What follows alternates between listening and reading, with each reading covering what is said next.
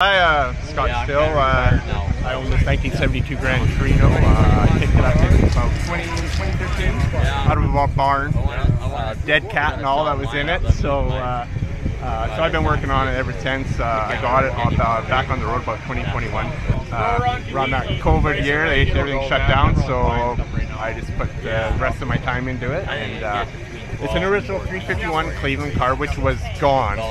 Uh, so when I got it, it had nothing in it. So um, uh, I, I, put a, a, 460 bored up to a 468, uh, sniper fuel injection, um, electronic control timing. Um, yeah, it is what it is. I did all the body work. Uh, I did not spray it because uh, I don't have a paint booth because it gets messy. But uh, I had custom body spray for me.